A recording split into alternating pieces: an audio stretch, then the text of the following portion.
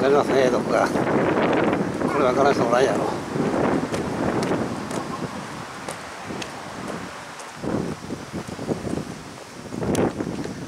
これで分かるか。これで分かりますねはいそうでございます。動きね仁徳天皇陵南北がどうやろう。800メーターから900メーターぐらいあるんじゃないかね。東西でも500メーター近くあるかな。すごいですね。おここに案内は。身長が486メーター。あれ？515メーター重視ともおるけどどうなんだろう。ボランティアの方？はいそうです。あそうです、はい、ありがとうございますよく来とるんやけど。あそうですか。ははい。い、あので聞かれたことはありますか？いや何度かあるけどあの団体の中やからな。ああちょろっと聞いただけで。ちゃんとこうやってや、まあ、あの5分ぐらいこうや喋ってもよろしいですか？はあいいですよ。初めてでございますが合体した電報公園墳で、はい。三重の堀で囲まれてて、はい。中から一重二重三重言うんですね。ここはで何十名ですか？こここれ三重目ほんであ二重目そうで鳥の向こうが一重目はあ一重のここが一重なんね。はいそうです。そういうことね。はいはい。一重目二重目三重目、はい。鳥の向こうは60から70メーターあると言われて。でこの横なんかね、はい。ちょうど横はい初下高いうところあるんですけど、はい。そこから排水するんですね、はい。だからあのー90メーターぐらいここ広いんですって、はい。でなんで言うたら古墳って言ったら周りの土をこうね盛り上げて、でここは三段築土で中からあのちょっと大きめの石とかあったらね、はい。えーこれここはね教育予算ちゃんとついてるからでまた一段築土なのであの神戸市垂水区の五色塚古墳でなんですけど、ね、これはせっかくやからあのそこのほら八尾の。ああ塩地山塩地山を使った方がいいんじゃないの？あの大阪やからお姉ちゃん。あれよりもこれの方がね大きいけど。あのいやいや先にできてて。いやそうそうやけど あれは半分してあるじゃないですか塩あそうそうのそう知っねてます知ってます、でも分かりやすいのこの言いたいのはこの吹き石でねあのーなんてばーびっちりやってうん。土が折れ落ち落ちてこないようにはい。する、ほんで円筒埴輪と朝顔埴輪がちゃんとよくわかるって。向こうはなんか他のねあの象形埴輪がいっぱいあるでしょ、うん。そこまでいらない。じゃあ遠いからさここから行け言うたら大変やからさ。あでも明石海峡大橋淡路島行く時は必ずあそこのいやいやここでこの前そんなここの場所で聞いてたけどあそんなやつお話してやったからな。ああそうかこんな行くんやったらあの塩地山がいいね塩地山僕は思ったんやけどさ。あ、正直あの八尾から来られたんですか？僕もあのもし行くんやったら近くやからね、また言うときます。ほんでね、あの、ね。緑色のね、はい。あのえ木なんですけど、い。あれは明治の35年から40年にかけてね、はい。あの植樹されたものなんです。あれこれじゃああのちょっと見せていただけますかここ。ここの古墳のうん。この中は全部あの古代から残ってるんじゃなくて。だって最初はこういうあの土。いやそれはわかるんですけど、はい。はい。あの木がどこ行ってもあのあ生えてますやんか。でこの木はいつ頃なんですか、だから明治、まあ、40年としてうん、明治40年言ったら2000 100年え100年。だ1900 1902年やから100年約100年前。100年100年以上。100年経ってあんなに大きくなるんですね。これはその前はその前の写真はないんですか？明治の。あのスケッチはあります。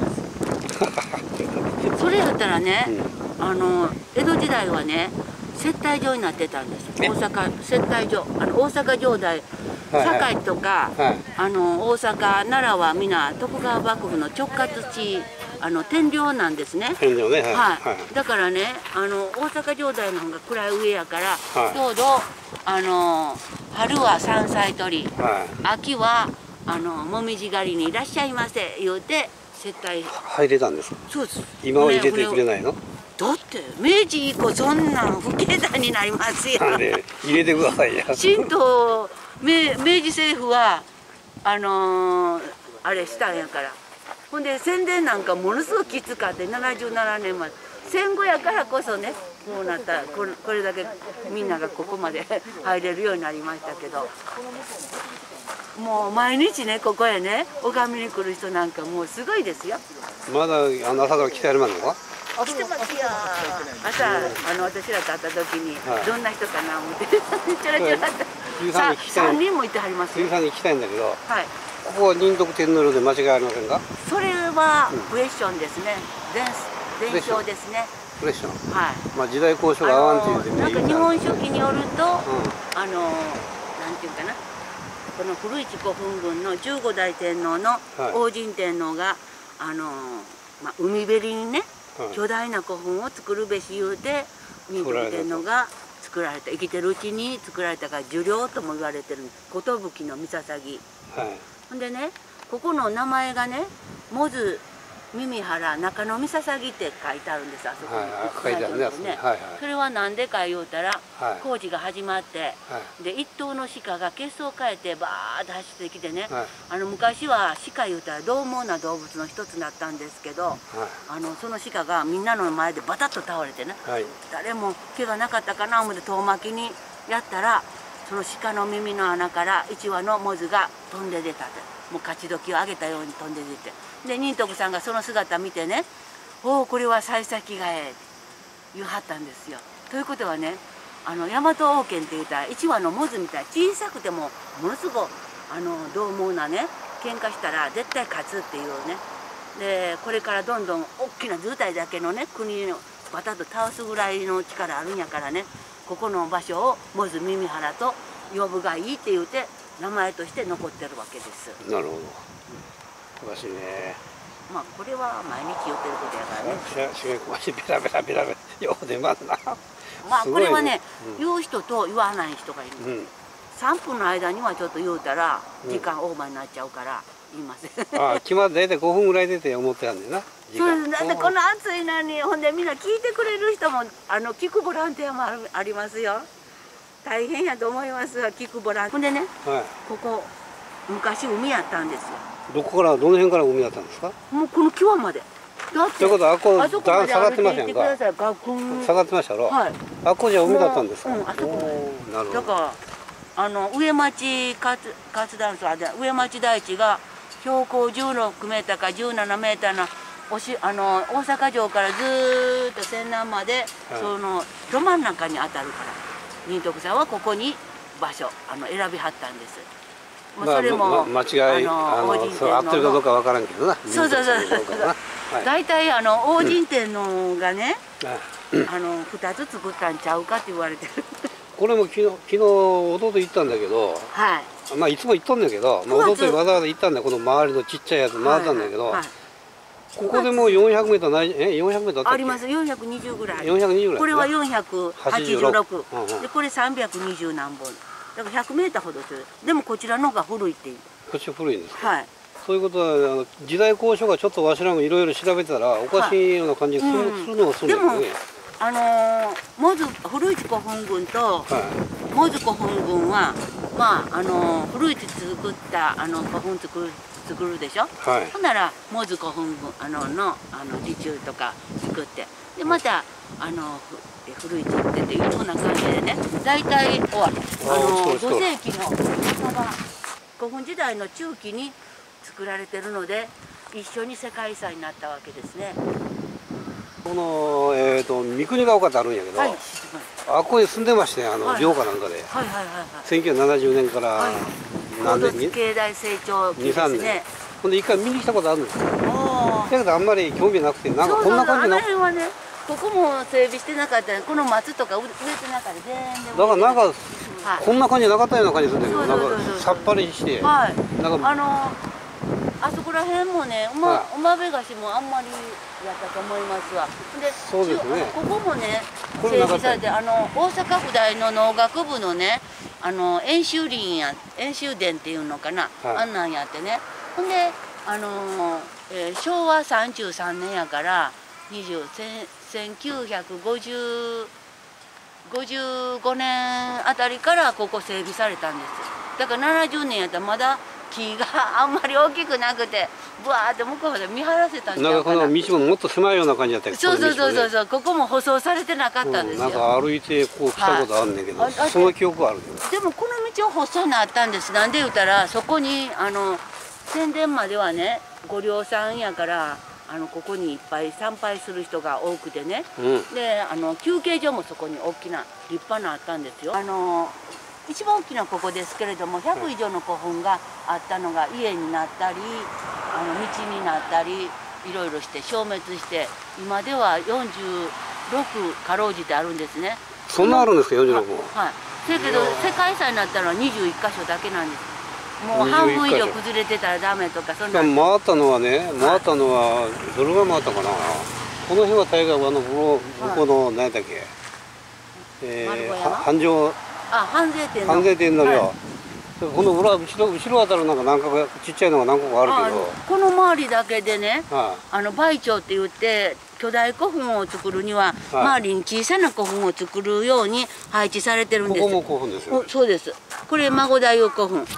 孫大古墳ね。はい。で田佐山古墳で狐塚っていうふうにね15あります。15本あんの、はい、塚回りもあるし、でここ、でこれとこれはね、長山古墳と丸保山古墳はね、ちょっと綺麗な電報公園墳やから違うのちゃうかって言って、クエスチョンね。うんクエスチョン、うんうん。クエスチョン。でもこれも入れたらここも電報15個。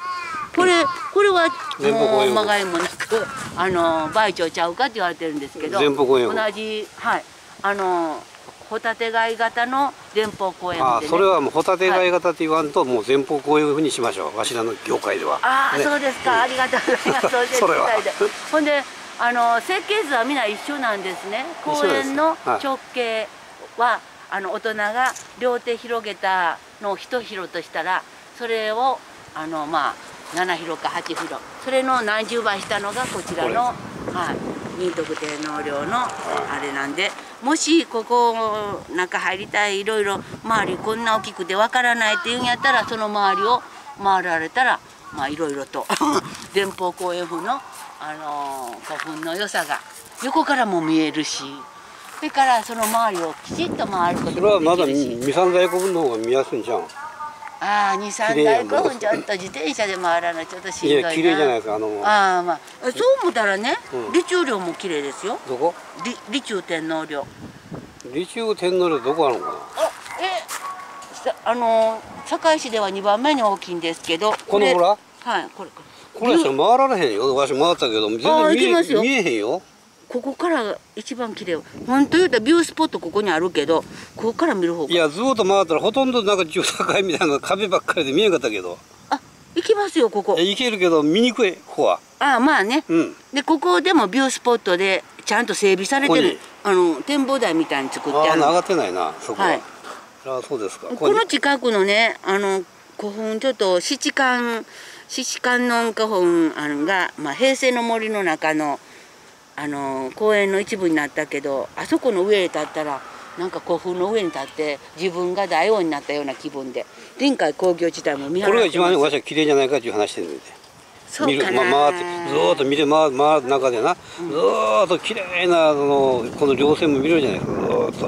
これはね、はいはいはい。ここはね中歩いたかでほとんどねあの見え見えないとこ多いんですよこれ。ああまあ公園に整備されたとこが少ないからね、うん。ここは大体だお墓があるし。こここずーっと歩きますこだけここだけがちょっとあれやな、うん中ずーっと横これはい。こう綺麗ですよこれ、はい。これ誰の墓？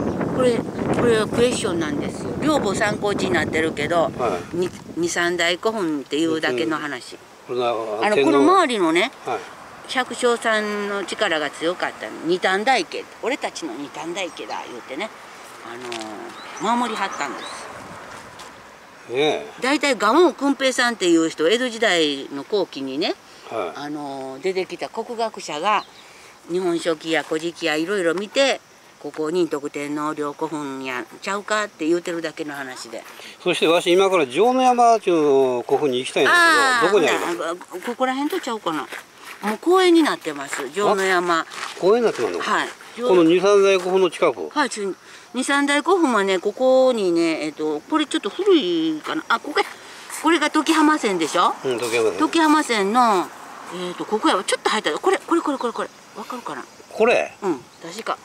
ちょっと見ましょうかね。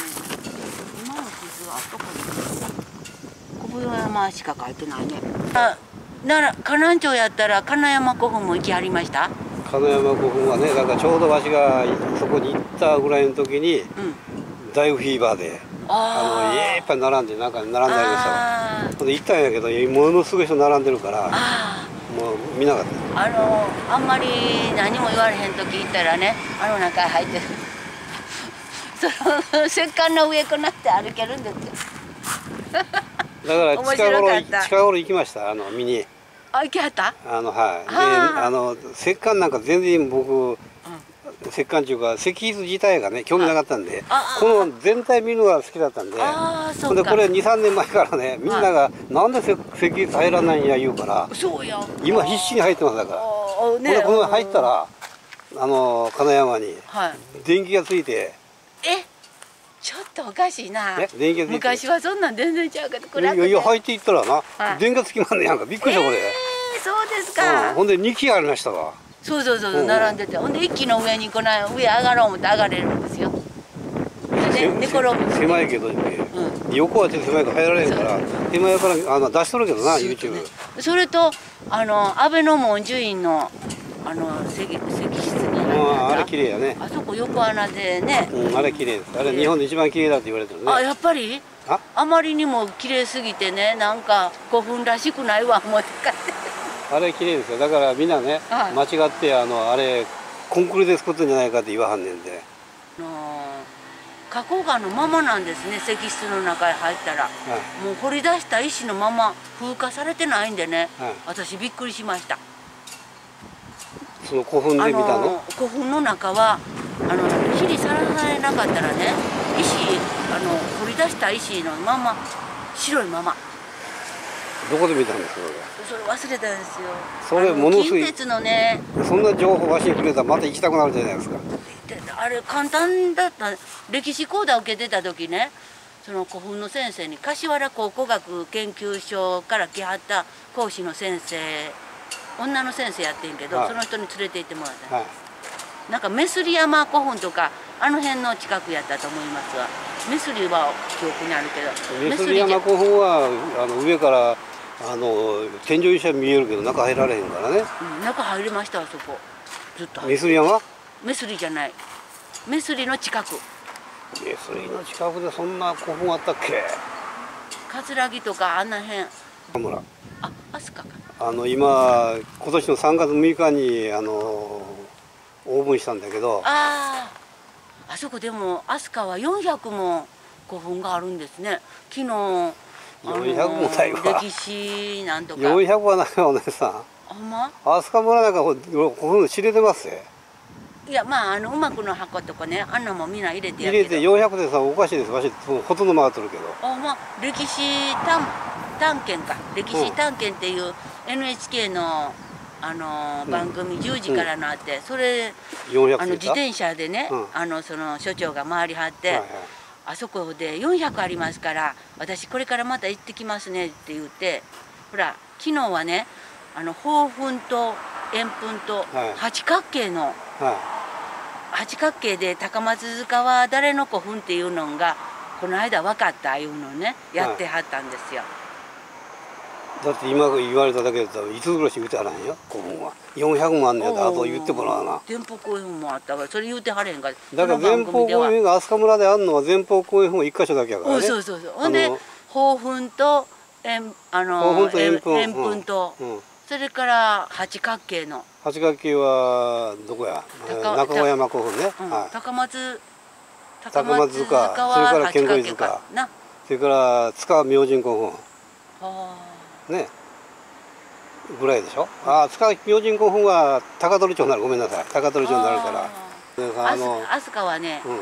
あればあのキトラ古墳とかね あんな。ストラとか高松とかとそうあかの辺ちょっとあの固まってるからちょっといただけで、高松とかが、うん。それから。有名すぎてほんで待たなあかんでしょ。あの石舞台古墳とか。そうそうああんな石舞台もねあの今はもう入れないでしょ中へ。どこ？石舞台。入れますよ。入れるんですよ今金取られる。そうやろ？お金、うん昔はタダで入ったんですよ。遠足で行ったらあの足の強い人は入り塚明神古墳もただですよ。あそうですか、はい。それからほとんどただやけど。えー、とだからね飛鳥村は知りてますってちっちゃいやつも全部回ってるけど。でもおかしいな。400って昨日のいやなんか看板見てマジックだ言うてたけどな。予約あんねやったらそれ聞いてんやったらわしもうあのあそこの観光課とかあの飛鳥村のね、うん。全部行ってうん。いろいろ聞いて、うん。えーどれぐらいあるか聞いて、ほん教えてくれないねちっちゃいのは。大きいのしか基本的にね。だからそれ分からんからいうことでいろんな人にあのアプローチして教えていただいて。ほんで細かいところずっと回って、ね。あの都塚古墳とかも回ったし。私のおすすめはねあそこ西陵古墳。あの三崎町にあるあそこよかったわ。仙南なんですけど。行きはった？西陵古墳うん。有略天皇のね有力なあのなんか、えー、と豪徳やってんて。ほんであの海の見えるところに電報公園法を作りはって。そこ入れるんですよ。作り出しとかねぐるっと回っててっぺんまで行けれるし。ほんで入り口に誰もいないから戸をギギギと自分で開けるんです。で閉めといてくださいって書いてあるから出てきた時は閉める。あそこをああいう古墳にしたらええのになと。ここもそうしたらいいのになと。なんていう名前？西陵西のはい三崎の古墳。西陵古墳。えー、三崎町やったと思う。三崎町？ああいたいた。二つあるんですかなそうそうそうそうそう入るあ入れも一個は入るけ個は入れない、そうそうそう。うん、あ一個入れる方が大きい大きい古墳やった。大きいねあれね。春行ったらあのーわらびがいっぱい取れる。あいやわしらこうはもうそんな笑いのかでももうその形を見るのが好きやからずーっと見てるけど下なんか見ていいいたいた。あはいはい。私入れて感動したんで。作り出しのところもバーッと歩いて。ほんならちゃんとはあのー埴輪がバーッとこう並べられてるのあって吹き石もゴロゴロ。なら並んでましたか？うん。うんかけてるけどねやっぱりきちんとは並んでなかったあのあれ今城塚古墳みたいにああいうふうにきれいにしてない整備されてないけどもう何百年も経ったちょっとだけあの整備したっていう感じ。詳しいね今城塚出てけへんよ古墳ねあかんわ。今城塚古墳ね携帯電乗るよね。はい。決体さんや。何回も行ったから、ね、あれねなんかあの整備される工事中の時から間違うてね本見て行ったんですよあんだがっくりきたあれも今は横に博博物館ができてるじゃないですか。そうそうそうそう。行かれましたか？行かれてあれ行きました。友達と2回も行ったんですよ。2回行く二回も行くほど感動はしないけど。ああじゃあ連れてってって言われるからね。あ1回目はわあこんなんやのできたと思ってこれでもうけえへんかなと思ってたらまだ行きたいって友達が言ったもんやからはい。しゃあないなと思って。あじゃあ和歌山の4、えー、35号墳は？あ前の山行きましたか？すごいじゃないですか。あの風風の丘公園になってますね。一一須が古墳群。岸やね。岸が岸のと岸の違う違う違うあそこら辺かとこでしょ？あの和歌山やで。うん和歌山。和歌山の木。木木木木ふ不動機の丘。不動機の丘とあの上山上です。はい。ああすごい。ああれあれもなんか古墳のああそうか。私古墳のあれに入ってるからや。古墳講談に入ってるから、バスツアーがね、うん。2回あるんですすよごいすごい。ああのあの辺の山ままで上がる人はもうかなりねあの趣味としてはすごいからです。そう、はい。あの観光ボランティアになった時ね、はい。あんなんありますよ言うて。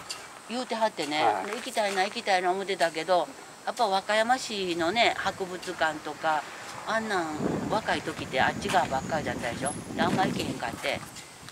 ほんで自分で自力で行った時はもう全部歩き回ったんですか？あの桜の花見し しに行ったような感じやって。伊賀は？伊賀。伊賀は行ってないんですよ。忍者屋敷見ただけ。伊賀行かなきゃあかんです。伊賀伊賀にも大きな古墳ありますよ。あそうですか、はい。誰の古墳誰かは知りませんけどあの辺の皇族でしょうけど、ね、ああそうか。伊賀伊賀。伊賀と名張とね私あの伊吹山のねあそこ行ってがっくり来たんで大和武の銅像があるだけでね。呼ぶので死んだ死んだでしょ？あそこであの大和武がうん。やいかけられてね。ねそう言われて私ももっとちゃんとちゃんとやってるんかな思ったらあの頂上に大和尊のあれだけで。で行者堂の薬あの薬草のこんな祠があって。の織田信長がなんか薬草をねあそこへ植えてそれからやって言って書いてあったけど。ねありがとう。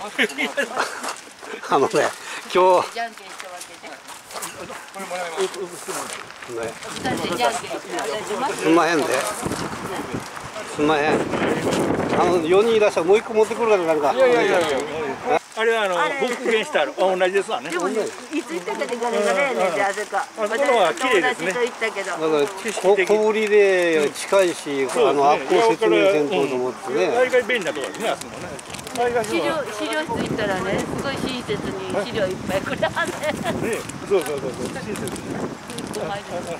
ありがとうございます。はい、じゃあちょっとお参りします。ありがとう。はい、すみません。はい、ちょっと長いこと長話だったけどね、ちょっと長いことお話ししましたけどね、はい、ボランティアの方でございました。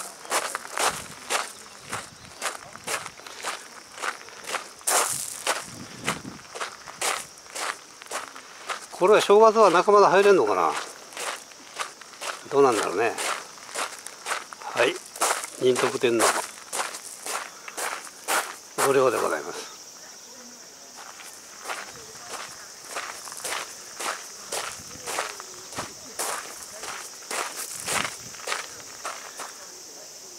これが二重堀やね。はあ、見えんかな。幅が400メートルあるんかな。あ、見えんか。こっちも見えないね。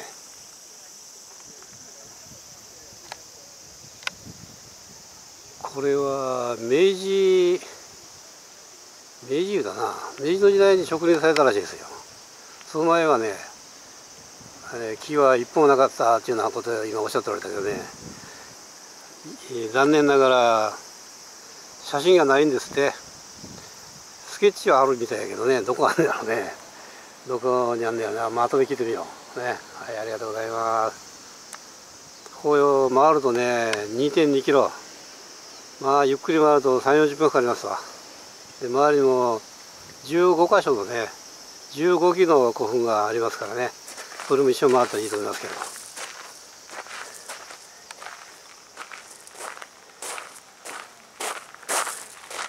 いやー今からボランティアちゃん。もうすごかったね今の話は。どれぐらい話しちゃったんやろうか。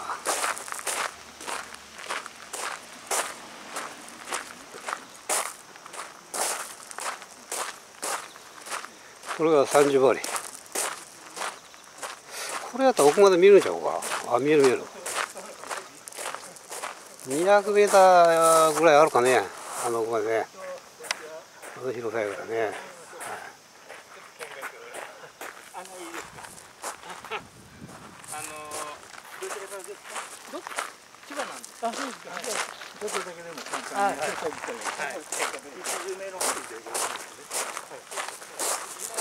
こっちも約200メーターね400メーターもあるねすごい。でしょ初めて来たのがね1970年代やけどねここはちょくちょく来てるんやけどこの頃は全然まだ整備されてない。んでね手前も今行くやったんやけどねはい。ありがとうござい。ました仁徳天皇陵でござい。ました